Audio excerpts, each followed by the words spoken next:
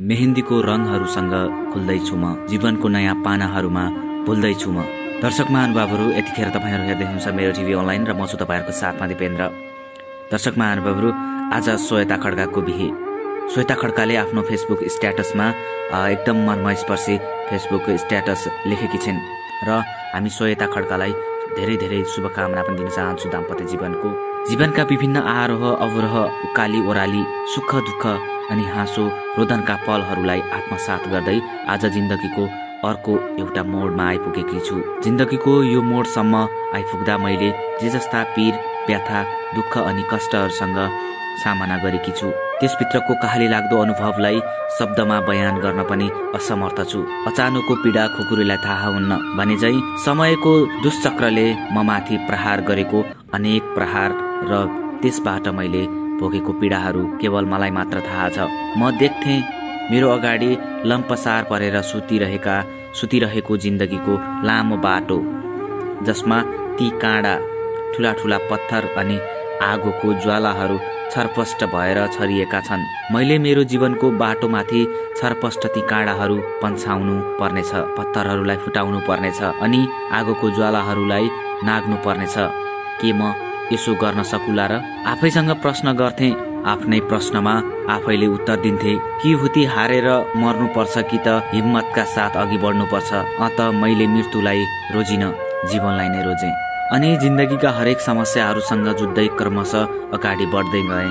एक्लै जीवन काट्न सकिन्छ भन्ने कठोर निर्णय लिएर विगत छ वर्षदेखि एक्लै हिँडिरहेकी थिएँ म। मेरो यो एकल यात्राका बखतमा धेरै पटक लडेकी छु।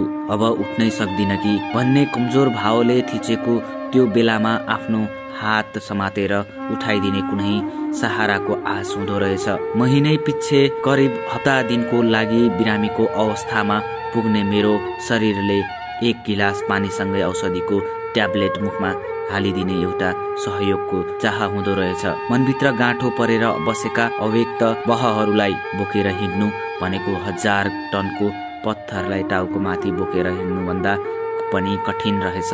तर मैले मेरा बहहरू व्यक्त गर्ने कोसँग मैले साथी सङ्गतिहरूको भिडमा आँखा डुलाएर हेरे तर मेरो पीडालाई महसुस गर्न सक्ने कोही देखिन। आफन्तहरूको घरमा खोजे तर माइतीमा शरण लिएर बसेको म एकल नारीले आफ्नो पीडा पोखेर माइतीलाई थप तनाव दिनुहुन्न भन्ने मनन गरे। अन्तत मेरो हरेक दुःखमा म एक्लै रोएँ पीडाहरूमा आफै सम्हालिएँ। अनि अनेक समस्याहरूसँग एक्लै जुधिरहे मेरो एकल जीवनलाई निहालिरहेका मेरा धेरै हितैषीहरूले एउटा जीवन साथी खोज्नको लागि नसुझाएका पनि होइनन् तर एक पटक पुछिएको सिउँदोमाथि पुनः सिन्दुर भर्न आँट गर्ने कुनै निस्वार्थी हातहरू पाइन्छन् र फुटेको चुरासँगै चकनाचुर भएको मेरो विगतलाई जोडेर एउटा सुन्दर आकार दिने स्वच्छ मनको धनी कोही भेटिन्छ र अनि विगतमा मैले गुमाएको मेरो चोखो मायालाई पुनः फर्काएर मेरो जीवनमा खुसीको रङ्ग भरिदिने कुनै दयालु मन पाइएला र लौ भनेको जस्तो निस्वार्थ स्वच्छ र निष्कपटी व्यक्ति पनि पाइयो रे। अनि के यो पुरुष प्रधान समाजले मेरो दोस्रो जीवनलाई स्वीकार गर्ला र म मेरा हितैषीहरूलाई प्रश्न गर्थे? आज मैले मेरो एकल जीवनमा एउटा सहयात्री पाएकी छु। विगतको पीडालाई भुलाउने एउटा बहाना पाएकी छु। मेरो अतीतलाई सहर्ष स्वीकार गरी मसँगै सुख र दुःख बाँड्न तयार एउटा साथी पाएकी छु। जीवनको दुःखद अध्यायलाई बन्द गरेर खुसीको अध्याय सुरु गर्ने निर्णयमा पुगेकी छु। त्यसो भन्दैमा मैले मेरो अतीतलाई चटक्कै भुल्छु भनेको भने पक्कै होइन।